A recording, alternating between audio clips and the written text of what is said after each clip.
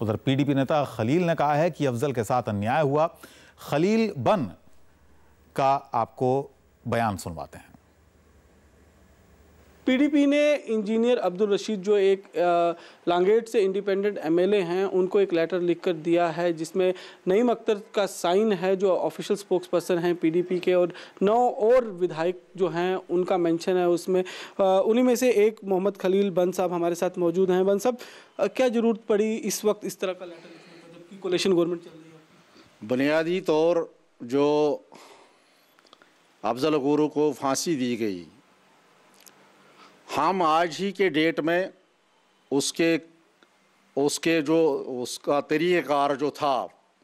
फांसी पर लटकाने का, ये कि हम ये समझते हैं, हम ये मानते हैं कि 28 नंबर पर उसका नंबर था और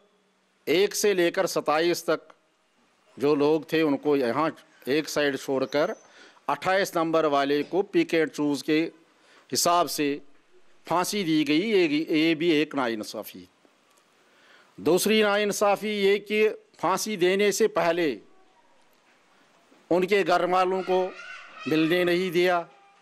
ये सबसे बड़ी ये नाइंसाफ़ी और उसके बाद उसकी जो डेड बॉडी वर्षा को वापस नहीं मिली, ये भी सबसे बड़ी ये नाइंसाफ़ी उसके ख़िलाफ़ हमने हम आज ही ये नहीं कह रहे हैं कि उनके साथ नाइंसाफ़ी हुई